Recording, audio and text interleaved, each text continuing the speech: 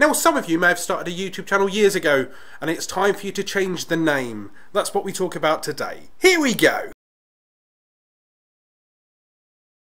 Hello and welcome back to another video. Now if you're new around here and you're looking to start your YouTube channel, grow your YouTube channel or push your brand out there onto the second largest search engine on the internet, click subscribe start creating. Now a question I've had a fair bit recently is I started my YouTube channel three, four years ago and I was young and I was stupid and I named it something weird. How do I change the username itself? Bearing in mind that the channel URL and the username are two completely different things, there's a video up here for that. I'm going to deep dive into how you can change the username and what it says underneath your video today. Now before I start that, I want to know, have you renamed your channel? Would you like to rename your channel? Or what is the reason your channel is named the way it is?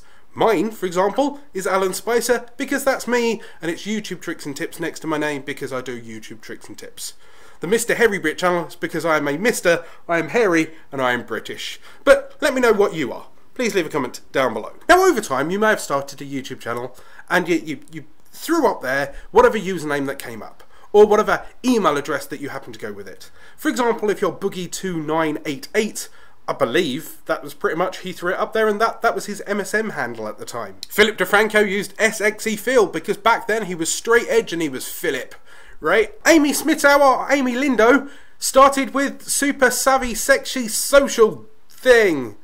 That's because that was her brand and that's how she was pushing her brand. She recently changed her name because she got married and she's rebranding her channel. So if she changed her channel name to make it look more professional or keeping in brand, it's something that we should learn how to do. Now it's quite simple. First of all, you sign into your YouTube account. Most of us are already signed into our YouTube accounts. I know that I'm pretty much always on YouTube, so that's not a problem. That's quite an easy step. Then in the top right hand corner where your little avatar happens to be, right, click on that and it drops down and you'll be able to see the settings or the creator studio and then settings. Now this pulls up this page which is your avatar and your advanced settings. You'll notice there is a little one, a little link that says editing Google. Now because of the way that Google Plus was integrated into YouTube ages ago, you effectively associated a YouTube channel with a Google Plus account, and that's why you can effectively directly share your videos straight to Google Plus or to Google, right? So it's kind of an old remnant. But the name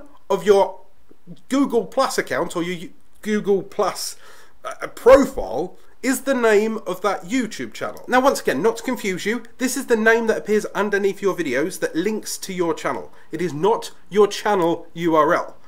If you're changing your channel URL or if you're starting your own custom channel URL, have a look at the video here. If you just want to change the name, then change the name to whatever you wish in that little text box. Now, warning, it is not instant.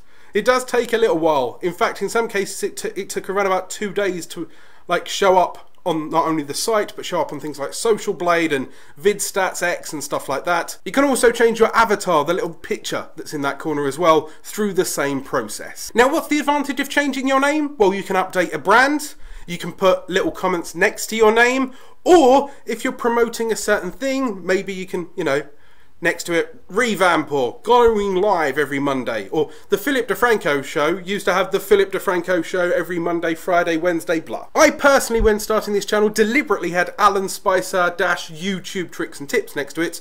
So when you found me in a comment section, you knew that I am Alan Spicer, which as a new YouTuber, you don't care. But you know that I do YouTube tricks and tips. It worked really well for the Mr. Hairy Brit brand when it was Mr. Hairy Brit dash not safe for work, news, funny, food, that kind of thing. Since then, I've removed those hashtags alongside Mr. Hairy Brit because people got used to who I was and my brand. And once again, more importantly, even no matter how long that username happens to be, it doesn't become your channel URL. So Mr. Hairy Brit was youtube.com forward slash Mr. Hairy Brit, and then that was it. And on this one, it's forward slash Alan Spicer, not dash YouTube tricks and tips afterwards. So it, it still keeps it clean and it still keeps it relevant and branded. So that's how you can change your username, your channel name on YouTube. For more tricks and tips, there's a free PDF up here in the description down below. Remember to hit that subscribe button for more tricks and tips videos fired at you two times a week. Plus, hit that notification icon so you can see my live streams. Go out there, start creating.